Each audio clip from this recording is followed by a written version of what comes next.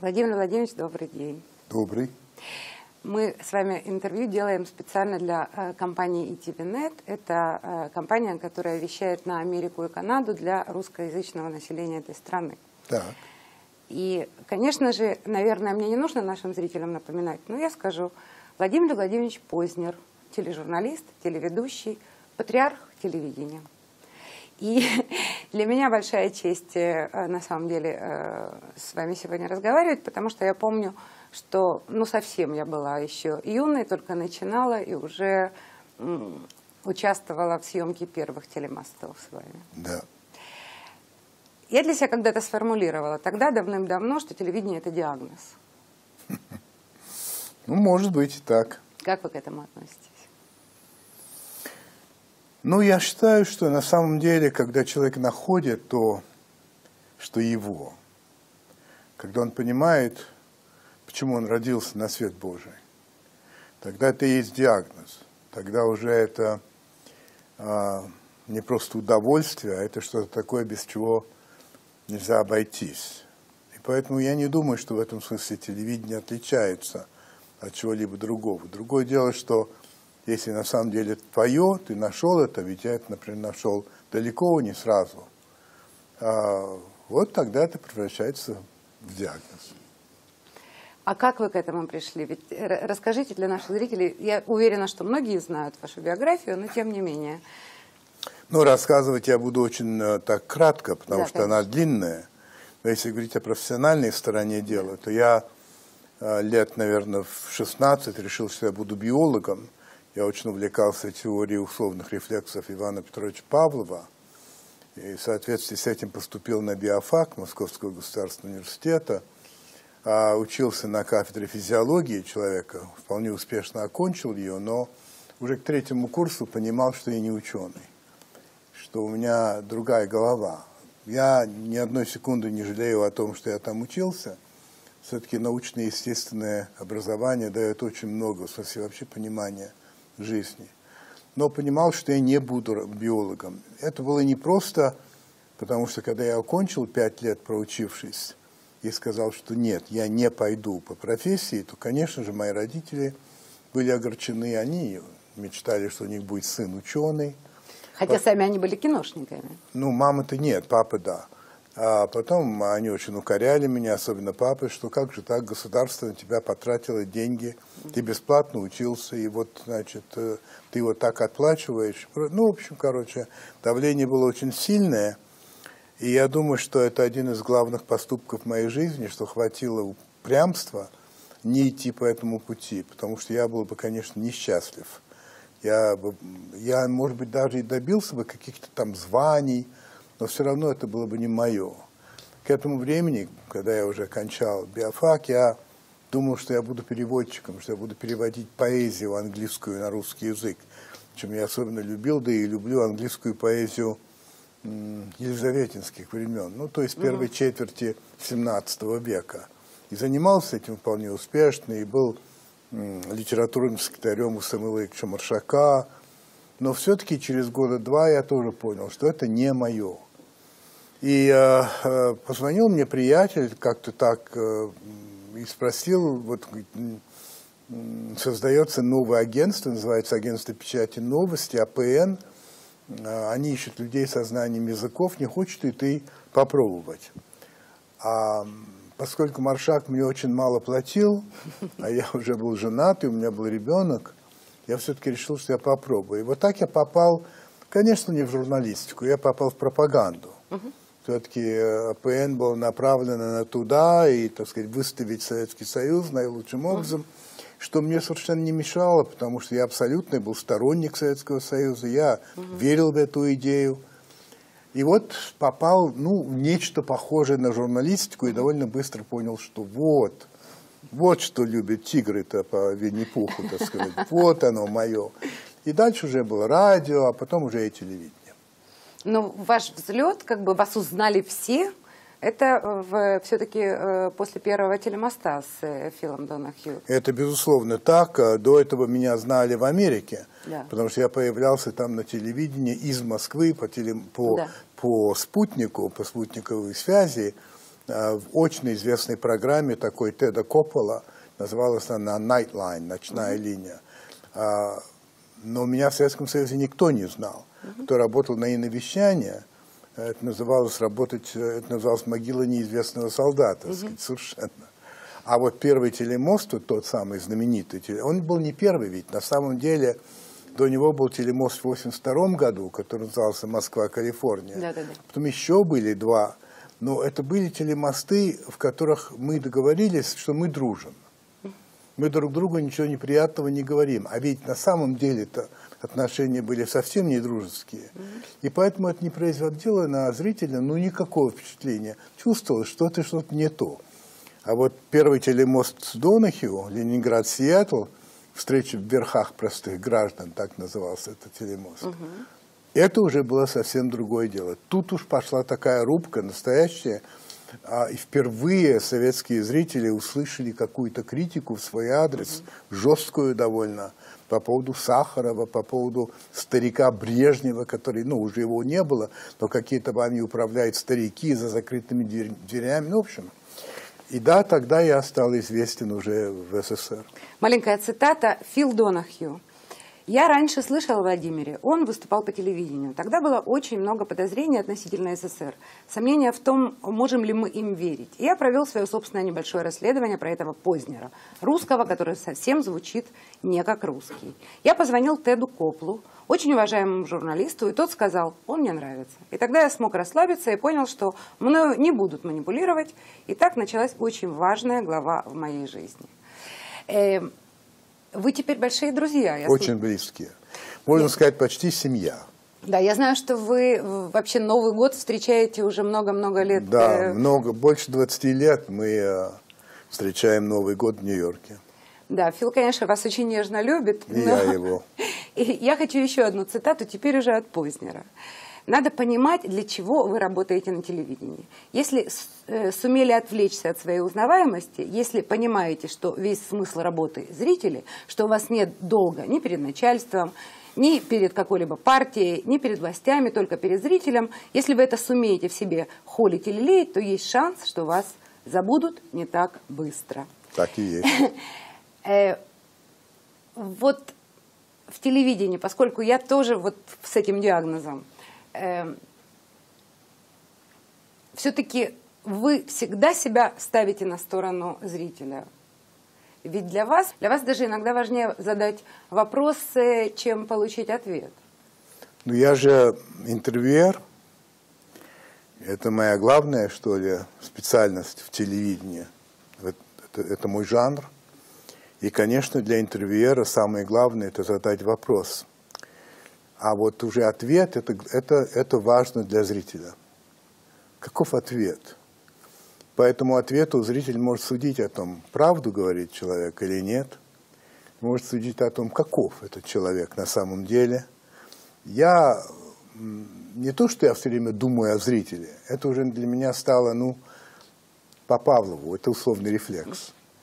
А, я понимаю, что зритель хотел бы задать вопросы какому-то там члену Государственной Думы, какому-то члену правительства, писателю, режиссеру. Да он не может их задать, эти вопросы.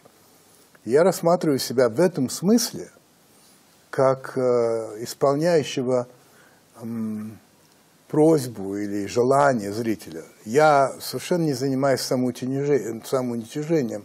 Я и сам хочу задать вопросы, но я отлично понимаю, что это я делаю для тех, кто смотрит. Если их там нет, то что я делаю? Для кого это нужно? Да не, не для кого. Но люди, с которыми вы, вы говорите, они обязательно должны быть вам интересны. Неважно в каком. Да не совсем так. Э, к сожалению, бывает, э, что люди не очень мне интересны, но они занимают такой пост, что они, что их необходимо интервьюировать. Или же они ньюзмейкеры, как говорят. И вот э, поэтому представляет интерес. Выясняется по ходу пьесы, что они мало интересны, эти люди конкретные. Что э, у них э, одна извилина, да и то прямая, как говорится. Да? Ну, ничего не поделаешь, это, это часть работы. Есть люди, которые очень сильно не нравятся. Надо стараться не показывать этого. твоя задача не, как вам сказать, не намекать зрителю, что, мол, это бяка, а, а полноценно показывать. Кстати, вы вспомнили Теда Коппола, а, которого я чрезвычайно высоко ставлю. Человек, который вел в течение многих лет каждый вечер, ну, с понедельника по пятницу, свою эту политическую программу. Так вот, а, сколько лет бы он ее не вел, никто никогда не знал, за кого он голосует. Ну, по-моему, это очень важное качество для это, любого журналиста. Да, но это да. вот я, я-то считаю, что это одно из главных качеств. Конечно. Но многие мои коллеги, э, в частности в России, считают, что это не так. Считают, что они должны сказать то, что они думают mm-hmm. по поводу. Я им говорю, да кому интересно то, что вы думаете, кто вы такие, в конце mm-hmm. концов. Другое дело, там, ну, я не знаю, какой-то выдающийся физик рассказывает о физике. Да, это правильно совершенно. Но вот у нас есть такое, что ли, разночтение. И вообще я думаю, что то, о чем мы сейчас с вами говорим, это скорее англосаксонский подход в журналистике. Не высказывать собственного мнения. Потому что, скажем, во Франции очень даже и высказывают. Тут разные, что ли, принципы журналистики. Ну, вы как журналист во Франции вы не работали. Вы работали в Америке, вы работали... Да, вы я работали... во Франции выступал неоднократно, но не работал. Но тем не менее, вы когда-то сказали, что э, вы понимаете, что э, люди, в общем-то, и в Америке, и в России э, в каком-то смысле одинаковые, журналисты э, одинаково работают на какие-то свои э, компании, от которых, которые они представляют. И поэтому есть некая внутренняя цензура или редакционная цензура. Знаете что, насчет похожести э, русских и американцев, может быть, когда-то я об этом говорил давно – а, но я передумал. По-моему, не похожи совсем. И это неудивительно, все-таки совсем другая история. Ну, совсем другая. Как мне кажется, русские очень похожи на ирландцев. Во-первых, э, по характеру я имею в виду, да, взлеты и падения настроений. А, любят выпить, а, подраться, яркий литературный дар а, сильно пострадавшие. Те 800 лет от англичан, эти 300 лет от татаро-монгольского ига. Очень много потом выясняется каких-то общих черт. Что касается журналистики, а, то, конечно, в Америке все-таки традиции независимости или свободы средств массовой информации совершенно другие, нежели в России, а, когда таких традиций никогда-то и не было. Это недолгий период был гласности э, при Горбачеве, э, который потом довольно быстро стал ограничиваться даже при Ельцине. Ну, да. А вообще не говорю насчет Путина. А, поэтому э, схожесть есть в том смысле, конечно, что если ты работаешь в компании, то ты зависишь от начальства, ну, никуда да. не денешься. Угу. И многое зависит от того, каков начальник. Угу. Если ты работаешь в государственной компании, ты зависишь от государства. Но даже если ты ни у кого не работаешь, как, например, я, угу. я произвожу свою, свою программу Познер, ее покупают. Я же все равно завишу, потому что мне могут сказать, а больше мы покупать не будем. Угу. Поэтому все равно мы в той или иной степени зависим. Вот мы не зависим, наверное, если мы являемся владельцами. Да.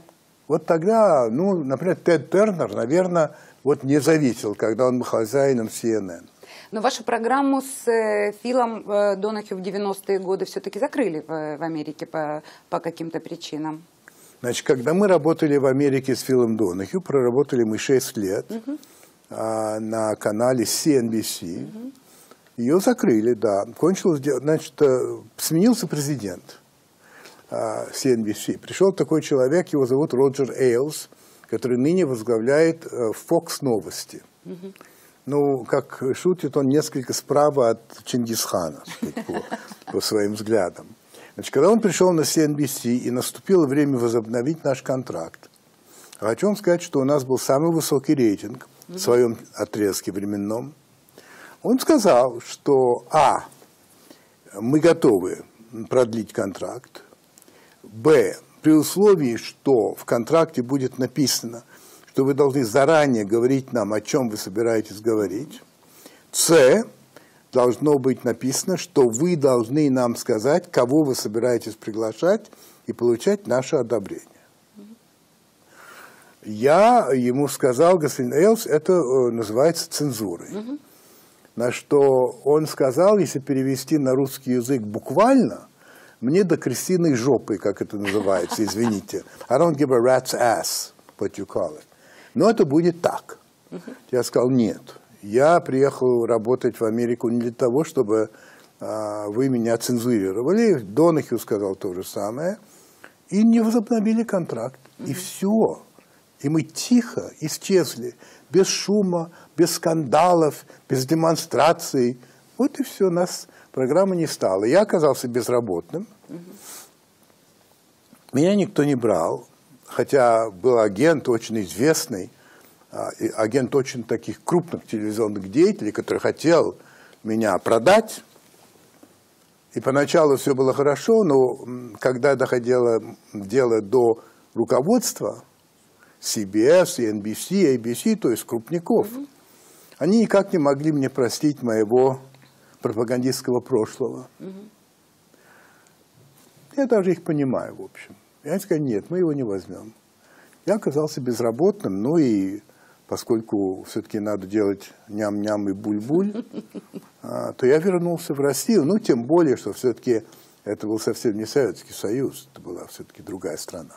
Ну, то есть получается, что, в общем, в этом смысле какая-то некая цензура существует. А как же? А как же? Существует. Существует именно такая. Существует самоцензура. Угу. Причем, конечно, в России самоцензура побольше, чем в Америке. Все-таки генетическая память э, есть да. у людей, э, опасность э, того, что может быть и так далее. Но это есть и там, и там. И вообще, послушайте, свобода средств э, массовой информации для меня это такой коридор. Он может быть широким, он может быть узким, но стена есть обязательно. Если вы попробуете пробить эту стену, у вас будут неприятности. Другое дело, что американский коридор гораздо шире сегодня. И то, вот тот же Донахью, когда он вернулся на телевидение, уже на MSNBC, и Буш-младший начал войну в Ираке, и он стал критиковать это, его выгнали. Да. Ну вот, э, да. что тут? Но у вас есть все равно э, вот в этом самом коридоре, да, я так понимаю, что вы пытаетесь все-таки ходить по более широким коридорам или расширять эти стенки. У вас есть какие-то все-таки вот какие-то красные э, линии, которые вы, ну, вы Слушай, сами я себе... знаю совершенно четко, что есть негласные, разумеется, негласные правила, существующие сегодня в России. Это, во-первых, само отношение к средствам массовой информации. Чем меньше аудитории, тем больше свободы. Если вы выходите на трех человек, вы можете говорить, что хотите, никому нет дела. Поэтому самое серьезное, самое серьезное ограничение – это федеральные телевизионные каналы, так называемые. Да. Первый, второй и четвертый. Раз. Кроме того, все эти каналы либо прямо, либо опосредованно – принадлежат или управляются властью. Первый канал на 51% принадлежит власти. Второй целиком принадлежит. Четвертый НТВ принадлежит Газпром Медиа, Газпром Медиа принадлежит Газпрому, ну а Газпрому, ну и так далее. Да? Значит, здесь есть, следовательно, тотальный а, властный контроль. Это второе, о чем надо помнить. Третье. А, нельзя на этих каналах критиковать Путина. Ну вот нельзя и все. Это нигде не написано. Ну, вот, но, это, но это все понимают. Но, но это, что значит все понимают? Это самоцензура? Это, это, вот, это... вот если кто-то скажет, вот Ургант ваш близкий друг, да. он же как-то там упоминает Путина, и не всегда... Но это совсем по-другому. Но всерьез, ну, например, сказать, что я считаю, что политика Владимира Владимировича Путина применительно к Украине это ошибка. Угу. Нельзя. Угу. Если вы это сделаете в прямом эфире, а прямого эфира почти что и нет, но если вы это сделаете, вы потеряете работу. Вас не посадят. Это не Советский Союз. Но работу-то вы потеряете 100%. Или будете в позиции телеканала «Дождь», да нет, э, телеканал «Дождь» все-таки еще существует, а вы, как э, журналист, уже работать не будете на телевидении. Вот есть вот такие вещи, и мы все понимаем. Или, скажем, я знаю, что есть ряд людей, которых я пригласить в свою программу не могу. Ну, понятно, что Первый канал покупает не кота в мешке. И они спрашивают, кого вы собираетесь пригласить. Так вот, я всем скажу, что, ну, при, примерно, но я хотел бы пригласить э, Ходорковского. Я знаю точно, что я даже пробовал, что мне скажут, Владимир Владимирович, ну, вы же понимаете. Ну, и вплоть до того, что, скажем, я поэтому звонил уже высокому начальству и говорил, ну, в чем дело-то? Ну, да, ну, да. Исполняется год, как его выпу- выпустили. Выпустил сам Путин, вроде бы как. Да не вроде, а так и есть. А, на что мне говорят? Ну, Владимир Владимирович, ведь он, когда вышел, он заявил, что он политикой больше заниматься не будет. Угу. Он опять стал заниматься, что правда. Я говорил с его секретарем Ходорковского. Я говорю, что произошло? Ну, сказал мне э, его э, секретарь, это было такое, такой перерыв временный. Я говорю, ну ладно, ну перерыв, так перерыв, ну значит уже я понимаю, что у меня нет э, возможности. Так что это есть такое. Это есть, и э, сказать о том, что в России есть свобода средств массовой информации, э, я бы сказал, что э, есть отдельно взятые журналисты, которые ведут себя и имеют возможность вести себя как журналисты. Они еще есть? Да, но журналистики как профессии, на мой взгляд, нет сейчас. Причем я не считаю, что наличие оппозиционной прессы – это есть пример журналистики. На мой взгляд, журналистика, она не про, она не контра. Она информирует максимально полно с тем, чтобы Э, зритель, читатель, слушатель мог сделать свои выводы.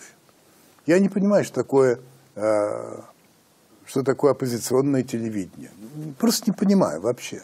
Тогда это уже не, это не журналистика, это убедить людей в том, что э, ну и, и так далее. Но вы же когда-то сами сказали, что журналист всегда должен быть в оппозиции к Он должен в том смысле быть власти. в оппозиции к власти, что он должен показывать постоянно то, что не в порядке.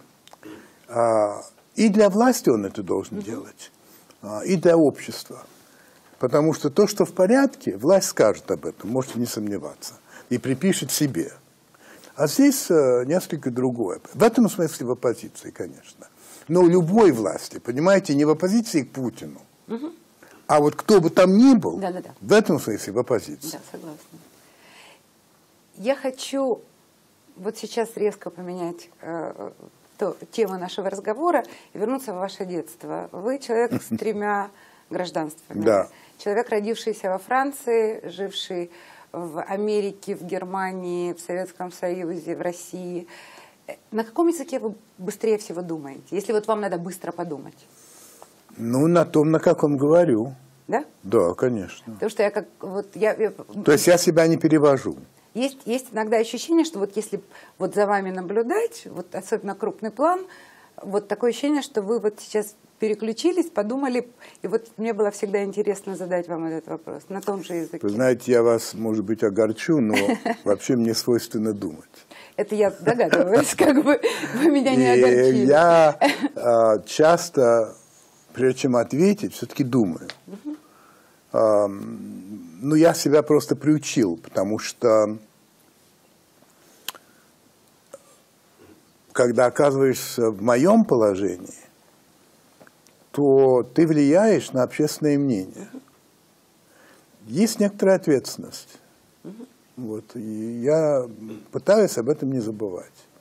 И когда я задумываюсь, я задумываюсь над тем, какое лучше слово тут найти, которое точнее выражает то, что я хочу сказать.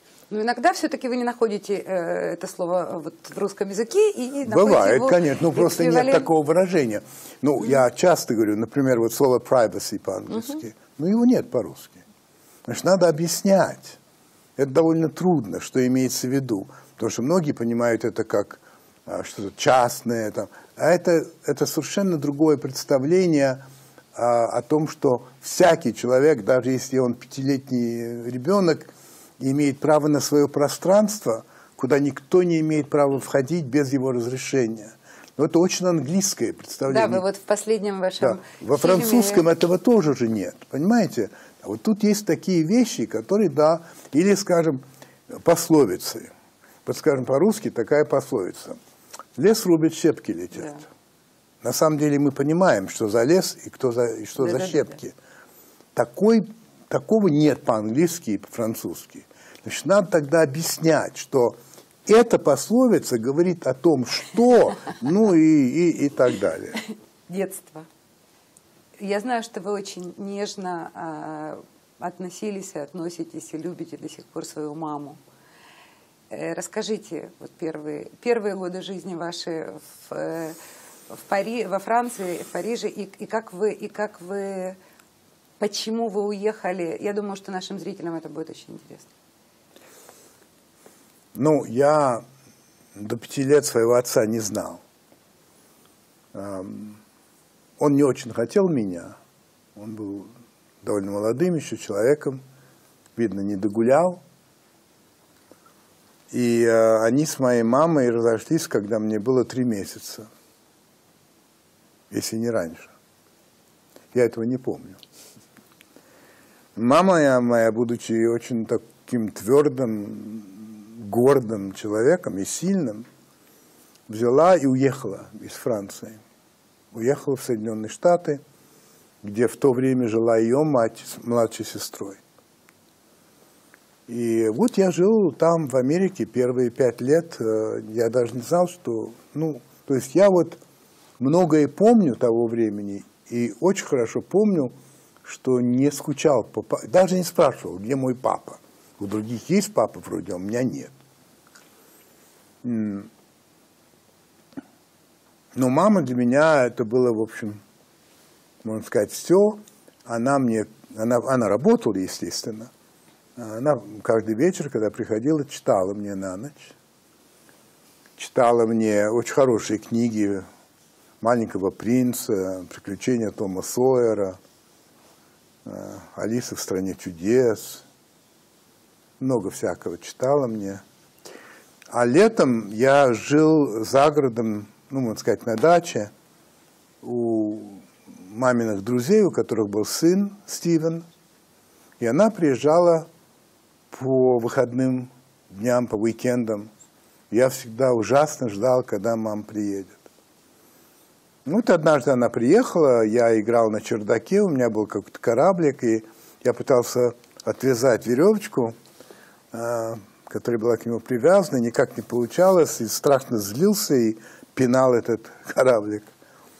Эм, и тут мама появилась, ну, я бросился к ней, и все, и она увидела, что я очень недоволен этим корабликом, и она мне сказала, ты знаешь, там внизу есть один человек, э, он очень хорошо развязывает узлы. Помоги, он тебе поможет. Я пошел, я сидел там, мужчина, очень хорошо. Почему-то я помню очень детально. Я помню, что у него на безымянном пальце левой руки было такое вздутие всю жизнь, кстати. Почему я запомнил это, ну, я не понимаю. Ну, здрасте, вежливый мальчик, я поздоровался. Я сказал, вот мама говорит, что вы можете помочь мне развязать. Он сказал, давай я попробую. И он это сделал в одну секунду – при этом я почувствовал себя, естественно, неумеха, неумеха, идиотом и так далее. Ну, а мама мне сказала, это твой папа. Ну, папа и папа. Точно помню, что не, а, вот этого не, не, абсолютно нет. Вот. И он нас увез во Францию.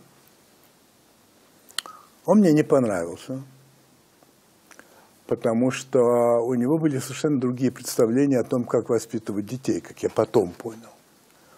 Он рос в очень строгой семье, а, где было много детей и где их наказывали. А ведь родители потом переносят на своих то, что они испытывали. Это же абсолютно точно. Ну, не всегда, иногда наоборот. Но часто. Вот его наказывали строго, и он, значит, соответственно. А мама со мной совсем по-другому себя. Она меня вообще не наказывала. Но, я, но я просто понимал, что я должен вести себя так. Она просто смотрит на меня, а я все понимаю. Вот. Поэтому изначально у меня с ним не сложилось. Приехали во Францию, 1939 год. Тут началась Вторая мировая война. И папа ушел в армию, во французскую. Я его не видел. Ну, ушел, ушел. И, по сути дела, ну, Франция капитулировала, он вернулся, поскольку он, э, фамилия Познер, еврейская фамилия, мало того, что еще русский еврей, что еще хуже с точки зрения немцев, да еще и а, по убеждениям коммунист и сторонник Советского Союза. Ну, в общем, в одном, да. ну, то, что надо для... Вот. Он был недолго в сопротивлении, потом надо было бежать, бежали на юг, то есть в неоккупированную зону, так называемую, э, где было правительство Виши. Э, некоторое время жили в Марселе, ну, а потом бежали из Марселя, в конце концов оказались в Америке. Я к тому говорю, что я мало общался с собственным отцом. Угу. Пожалуй, до того момента, когда мы наконец приехали в Штаты. Я хочу ну, вернуться еще вот э, к тому, что было во Франции, когда вас отвезли к тетке вашей. Значит, когда мои родители были, ну, папа, когда был в сопротивлении, да и мамы не было, они меня отправили к приятельнице, которая жила в Биорице, на юге Франции, там, где Атлантический океан. Ее звали Маргарит. Я обожал ее.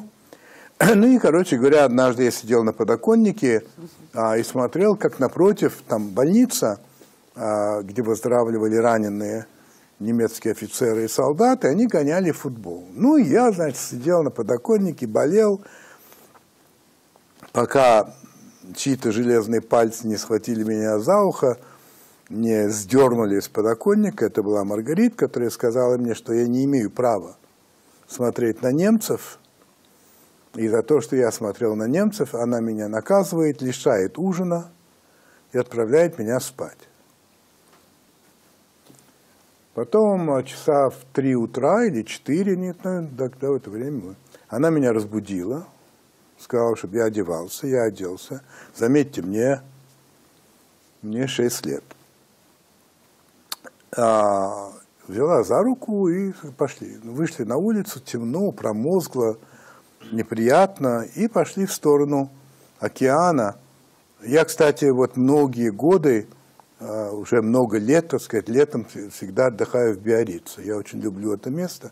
Я точно знаю, куда она меня привела. А, и люди шли. Я помню, что я удивился, что почему столько людей на улице. Ну и в конце концов, значит, уже когда мы были совсем недалеко от набережной, просто толпа была огромная – но она каким-то образом через эту толпу меня провела. Мы оказались прямо у барьера над океаном. Там высоко над океаном, внизу ракочут эти волны и все. И полная тишина, в смысле людей. Никто ничего не говорит. Чего там? Ну, чего-то явно ждут. Потом начался такой шепот, шепот, шепот. И вдруг там заговорили. Я увидел, как внизу мимо нас проплывает труп, утопленник один, второй, третий, в общем, всего пять.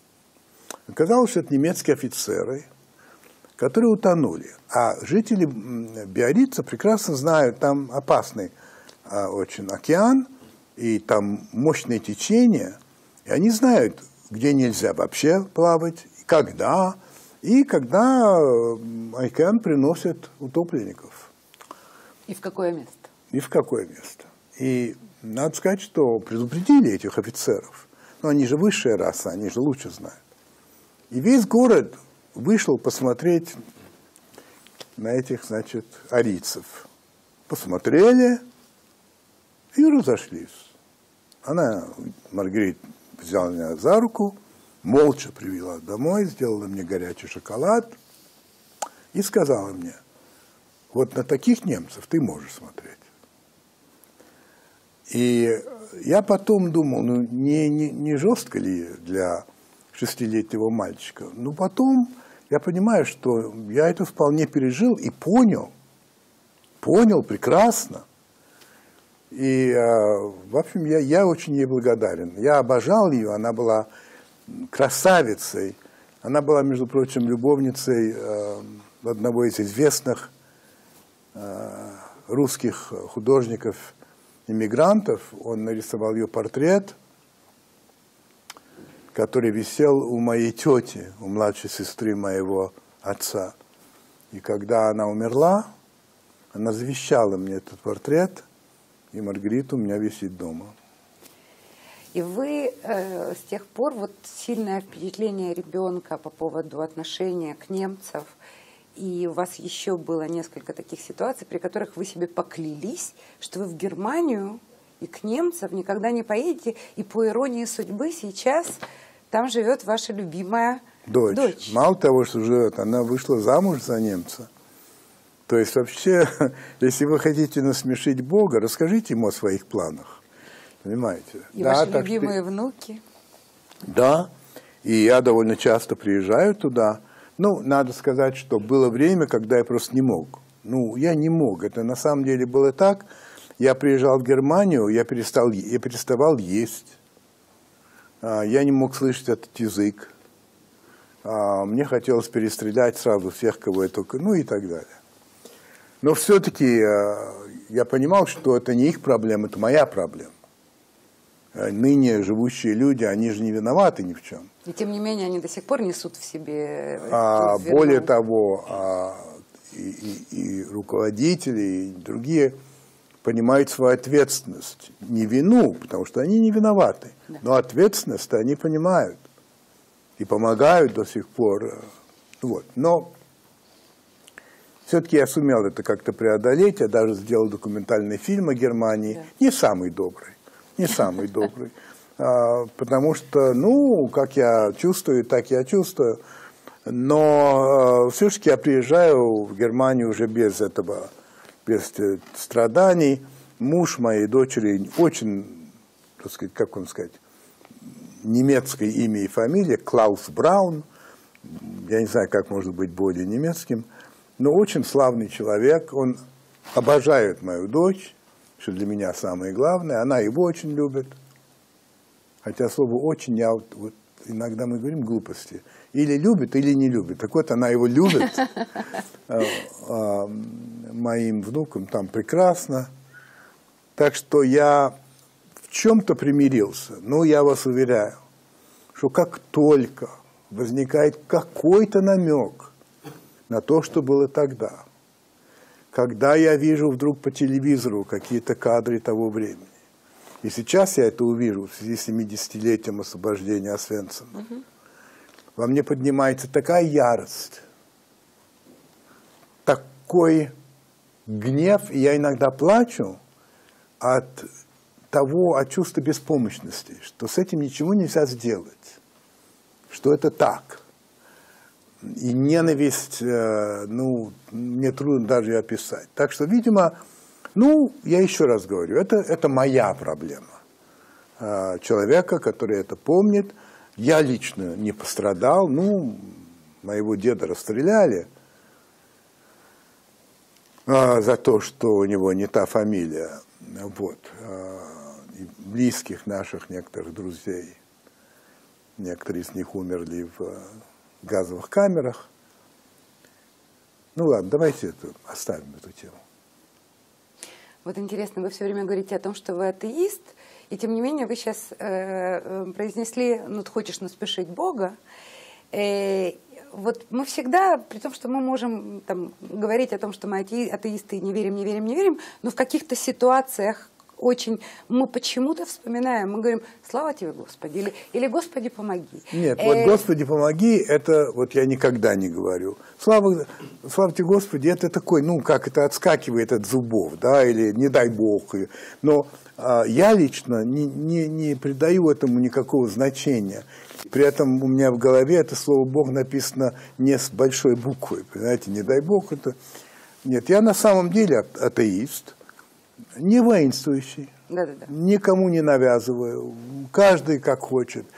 Вот насчет церкви тут другое дело. Тут у меня есть серьезные претензии, о которых я неоднократно говорил, что вызывает бешенство целого ряда угу.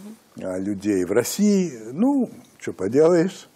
А, вот. Э, конечно, может быть, честнее было бы сказать, э, ну, агностик – Угу.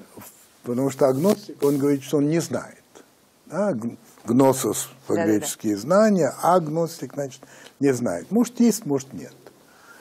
А сказать, что есть Бог, это же вера. Сказать, что нет, это тоже вера. Да. Понимаете, да? да? Вот. А, но и, и сказать, что ты агностик, это еще очень удобно.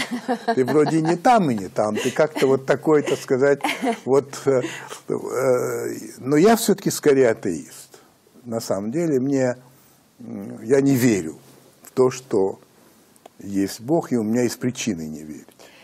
Вообще, когда мне было лет семь, я спросил своего папы, а что такое гений вообще? Гений, гений. Он мне рассказал замечательную историю. Сказал, знаешь, в XVIII веке в Германии жил такой мальчик, его фамилия была Гаусс. Угу. Вот, и он пошел в школу. Ну, а в первом классе учитель учил всему. И считать, и читать, и писать. И там было человек 40 этих вот, как ты, семилетних идиотов, болванов. И ему было с ними ужасно скучно. И он думал, как бы это их занять, чтобы я мог заня... почитать книжку. И, говорит, он да, придумал. Он сказал, дети, а, я прошу вас сложить все цифры от единицы до ста. Один плюс два плюс три плюс четыре. Это надолго. И сел читать. Прошло 2-3 минуты, и рука поднимается маленького Гаусса. И учитель говорит, тебе что, в туалет? Он говорит, нет, господин учитель, у меня есть ответ. А так как учитель сам не знал, какой ответ, он говорит, ну и какой у тебя ответ? Он говорит, 5050. А как это у тебя получилось? Да, господин учитель, это очень просто. Представьте все цифры от единицы до ста, написанные не столбиком, а в линейку – один, два, три, четыре, ну вот так вот. Угу. Теперь смотрите, если взять единицу и 100 и сложить, сколько получится? 101. 2,99. 101. 3,98. 101. И так до 50 и 51. 101. Получается 50 раз по 51. 5050. Что такое гений? Он видит не так, как другие он по-другому. Вот. Так вот, человек с этим рождается, а подумать, что там есть какой-то, не знаю, как назвать, говорит, так, этот вот, это, это вот, это. А это будет кретин полнейший, который вообще ничего не соображает. Ну, надо ну, да, вы знаете, Для нет. Для гармонии это надо. Я, понимаете, я не возражаю. Если вот у человека есть такое убеждение, и вообще, что потом а, есть вот другая. Да ради Бога. Вот видите, ради Бога. Меня это никак не... Только не надо мне это навязывать. Okay. Не надо говорить, как ты можешь. Слушайте, я никому не мешаю. Ей-богу. Мне еще очень понравилось, как вы рассказывали про то, как вы с Шимоном Пересом беседовали а, по поводу того, что какой я его увижу, я, эм, ну, я не знаю, можно ли сказать вашим зрителям, что мы это интервью проводим, когда я в Израиле. Конечно. Ну вот, Нужно и послезавтра сказать, я как раз буду интервьюировать господина угу. Переса. Я ему напомню. Вообще я с тех пор его не видел. Расскажите для наших зрителей. А это было много лет тому назад. Я плыл на корабле, где были э, американские миллионеры, и называется YPL, Young Presidents Organization, то есть организация молодых президентов. Имелось в виду, чтобы быть членом этой организации, э, вам должно было быть меньше 50 лет, и вы должны были иметь не менее не помню, какого-то количества миллионов долларов. Ну, и это люди, которые раз в году устраивают себе развлечения. И в данном конкретном случае на замечательном океанском лайнере «Королева Елизавета II» а, плыли из а, Англии а, в Марокко, потом из Марокко в Испанию, из Испании в Португалию, из Португалии обратно в Англию. И они приглашали на борт людей, которые должны были их развлекать. Среди них был и ваш покорный слуга, и Шимон Перес, и другие. И как-то мы с Пересом друг другу понравились, и он пригласил меня поужинать. И мы сидим, ужинаем, а, говорим по-английски, по-русски он не говорит. И я ему говорю, послушайте, господин Перес, я прошу вас, можете ли вы мне помочь? Я родился во Франции, от французской матери католички. Ну, не верующий, но тем не менее. Я крещен в католической вере. Следовательно, евреем по догме. Я никак быть не могу. Я вырос в Америке. Папа мой, да, русский еврей, который никогда евреем себя не считал и не хотел быть евреем. И говорил, что он не еврей, а русский интеллигент, что он не говорит на иврите, на идише, что он еврейскую культуру не знает и знать не хочет. Ну, короче говоря, живу я ныне, сказал я ему, в Советском Союзе. Это был Советский Союз еще. Я не понимаю, кто я. И он посмотрел на меня своими огромными, печальными, древними глазами и сказал, вы знаете, если вы не знаете, кто вы, скорее всего, вы еврей. Что же, гениальные совершенно вещи. Я ему, конечно, напомню об этом. Но вы пострадали из-за своей фамилии, вы пострадали, когда вы поступали в МГУ. Ну, конечно, я встречался с антисемитизмом, конечно же. Ведь обидно, да, не быть евреем вроде бы как, и, и при этом страдать. Вы знаете, это тот случай, когда хочется говорить «я еврей». Я ненавижу расизм, национализм, любую дискриминацию. Просто я не приемлю. И поэтому э, я говорю, вот я вам могу сказать, сейчас я не чувствую евреем. Ну, вы знаете, вот когда я оказался у стены плача, угу. очень интересно, очень, но ничего во мне не шевельнулось. А когда я оказался на форуме в Риме угу. и ходил среди этих руин, и думал о том, что здесь ходили они, вот Цезарь и так далее. То есть у меня мороз по коже. Я понимал, вот откуда я. Угу. Вот мои корни, я же европеец. Здесь нет этого. Это не, не хорошо и не плохо, это так. Но, когда речь идет об антисемитизме, я точно еврей. Причем очень такой опасный. Знаете, я вот подумала, что вы, вы вот ваши путешествия с Ургантом по да. Германии, по да. Америке, да. по Англии, вот а, а англичан, они про себя говорят, что они островитяне. Да. И поэтому это их как бы преимущество, потому что у них вроде как нет границ ни с кем. И я вот, когда смотрела это и, и думала о том, что мы с вами будем разговаривать, я подумала, что, а вот Израиль это же ведь тоже остров, потому что вроде как границы есть, но они для нас, э, мы их пересекать не можем. У нас есть Понимаю, либо да. воздушная, либо морские границы. Да. Мы тоже в каком-то смысле на острове, только не в географическом смысле, а в каком-то другом. Я хочу с вами поговорить о, о понятии дома. Вы говорили о том, что все-таки дом ваш э, – это Франция. В большей степени и вы много путешествуете, и вы европеец, и вот вы сейчас говорите... Я про... отчасти американец. Да, да, да, да. И все-таки вот говорят, что страну надо на себя примерять как пиджак, и что вам поэтому лучше всего все-таки там. Вы так себя ощущаете? Я себя чувствую больше всего дома во Франции, это правда. Причем э, я себя одинаково или в не меньшей чувствую себя, в степени чувствую себя дома в Нью-Йорке, угу. но именно в Нью-Йорке. Не в Америке вообще. А во Франции мне всюду очень как-то так легко и, и э, вот по себе. Ну, угу. Вот то, как люди ходят, как они жестикулируют, как они э, смеются или не смеются, это все мое. И опять-таки, это не лучше и не хуже, чем где-либо. Это просто вот, а, вот оно. Вот мой пиджак. Это, да. это мое, это мой пиджак, мне в нем хорошо. Это так, да.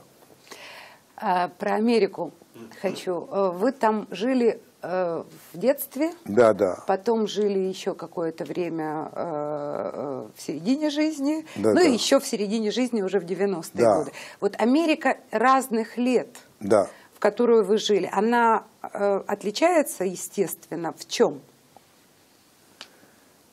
Ну, во-первых, когда ты ребенок, у тебя восприятие все-таки несколько иное – чем когда ты уже зрелый человек. Но я бы сказал так, что поскольку я Америку очень сильно люблю, и в какое-то время просто я был настоящим американским мальчиком, стопроцентным, и считал себя таковым, и очень интересовался историей Америки и так далее, то могу сказать, что Америка действительно изменилась. Я просто это чувствую и понимаю. А, это на самом деле длинный разговор, но если попытаться коротко об этом сказать. она изменилась за счет многих факторов, в частности, за счет иммиграции. Угу. Хотя эта страна вроде бы иммигрантская, но это вся была иммиграция, грубо говоря, одной культуры. Скажем так, иудейско-христианской. Угу. Иммиграция была вся из Европы. Угу. Вся. Потом это стало меняться. Появилась иммиграция из Азии, главным образом китайская. Угу. А потом, потом уже после войны и так далее пошла серьезная иммиграция из Африки, из Латинской Америки. А по существу совсем другая по культуре. И это стало менять саму Америку. А если раньше можно было говорить о плавильном котле, попадают туда, плавятся и выходят американцы. Теперь уже нет этого котла. Есть, на мой взгляд, салатница. Угу. Это перемешано, это, но это отдельные куски. Это все-таки не единое что-то. Первое. Второе. То, во что верили буквально все американцы, то, с чем я вырос. Ведь вы можете разбудить меня ночью, и я вам наизусть э, прочитаю преамбулу Декларации независимости. Wow. Да. Сейчас это не так.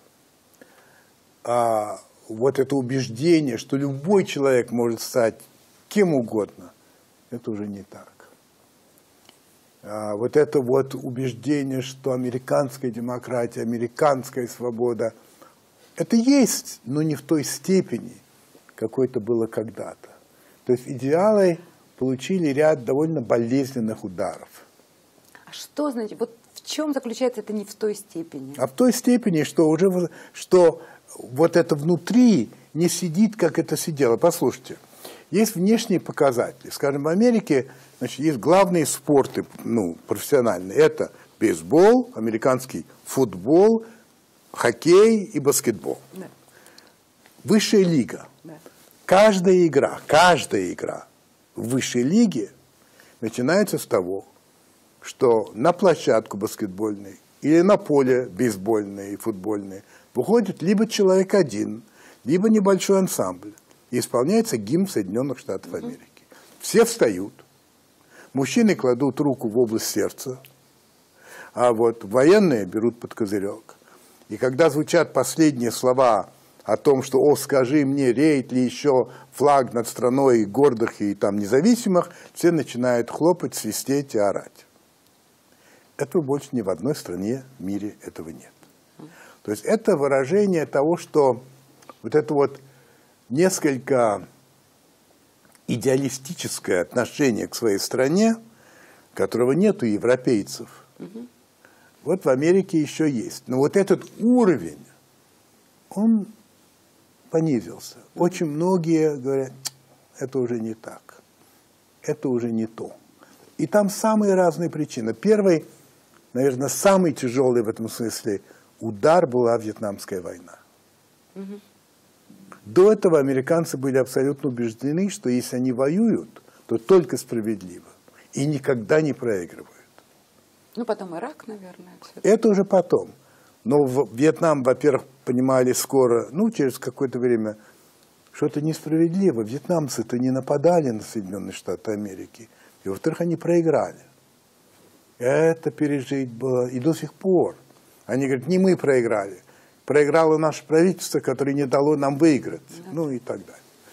Так что это, да, это изменилось. И очень сильное есть разочарование.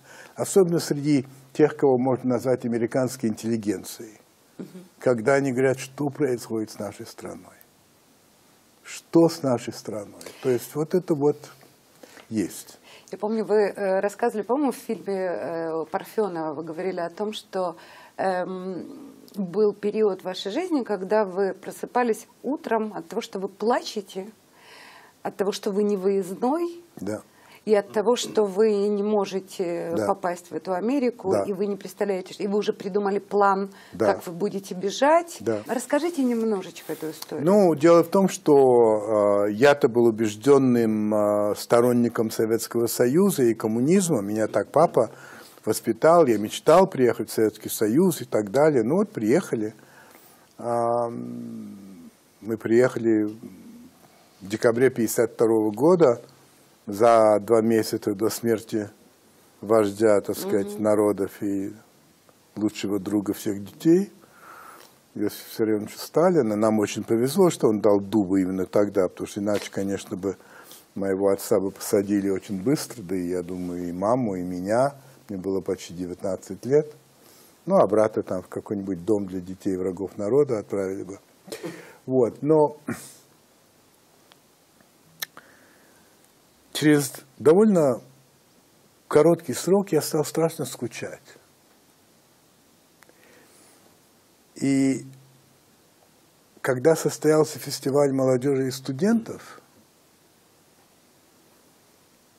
я две недели жил с американской делегацией. До 50-е годы. До 57-й, по-моему. Да. Я понял, что это мои люди. Что вопрос опять не в политике. Я скучаю по бейсболу, я скучаю, я скучаю, я хочу домой. Вот. И когда я отцу об этом сказал, что я хочу уехать, он ужасно рассверепел. Ну, для него это был, конечно, тяжелый удар. И он мне сказал, что если я попробую, он э, сообщит об этом в КГБ. Все-таки мой отец. И э, наши отношения стали очень тяжелыми. И они оставались тяжелыми долгое время, много лет. Но я правда скучал. И действительно, я, мне ночью снилось, как я хожу по Нью-Йорку, как я звоню в дверь или стучу в дверь своему приятелю одному, он открывает и говорит, вот, это я, и все. И потом действительно вот, да, очень переживал, что это не так. Снилось много раз. А были еще ситуации, при которых вы плакали вот так?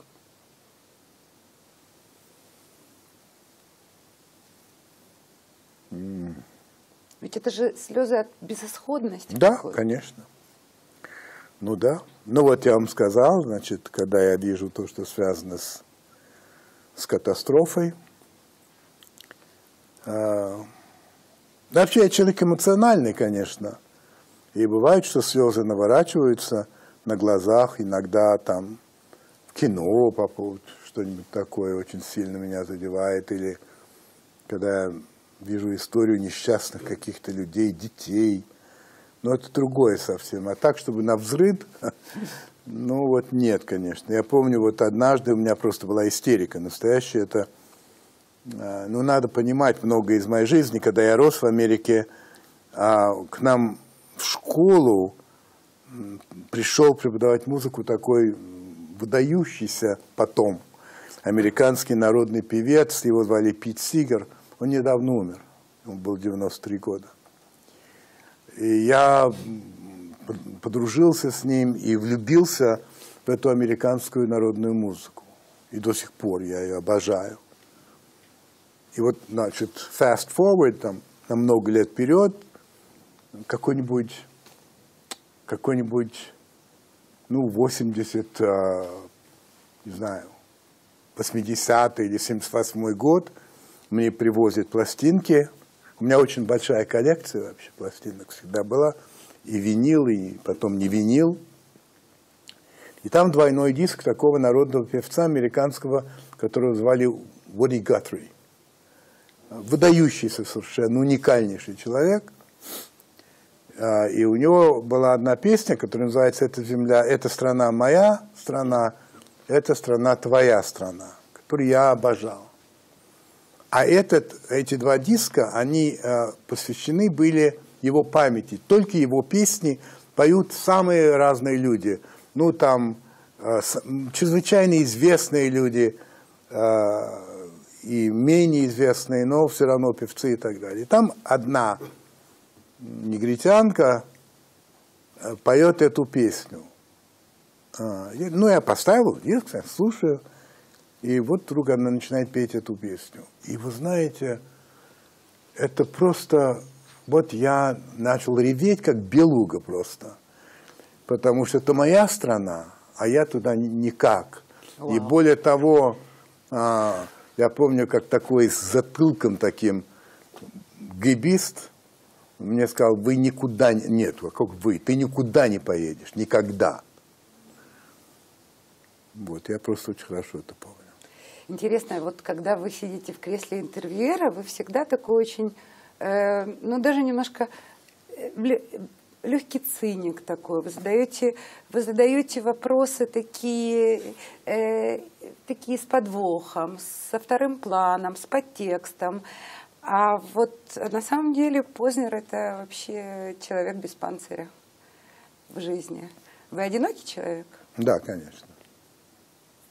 Ну, я думаю, что все люди одинокие, но только не все это понимают. Мой любимый Бальзак когда-то сказал, что одиночество – великая вещь, но обязательно нужен кто-то, кому можно сказать, что одиночество – великая вещь. Ханс Фалада написал книгу, которая называется «Каждый умирает в одиночку». Да. Мы все одинокие. Другое дело, что, как мне кажется, мы всю жизнь ищем кого-нибудь или тех, с которыми это одиночество можно разделить. Но если мы не полные идиоты, то в какой-то момент мы понимаем, что полностью преодолеть это состояние никому не удастся. А если мы, не, а если мы идиоты, то мы этого не понимаем, но все равно чувствуем. Это нас угнетает, но мы не понимаем, почему это, что нас угнетает. Есть просто чувство неудовлетворенности, что ли. А я прекрасно это понимаю, и в этом есть определенная трагичность, но и Бальзак-то прав. Ну, вот так мы созданы, ну что же делать? Я думаю, что это может быть главное, самое главное, что есть в человеке, потому что животное – не, не может быть одиноким, такого представления не может быть у, у животного. А у нас это есть, именно одиночество. То, что до конца тебя никто не поймет. Ты себя не поймешь до конца.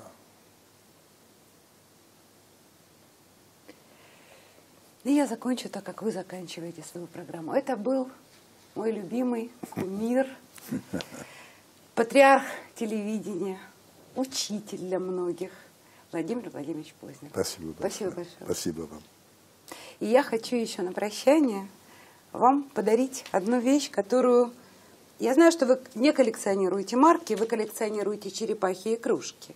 Но вот тут лично для вас так. почта Израиля самую настоящую изготовила. Да ну ладно. Правда?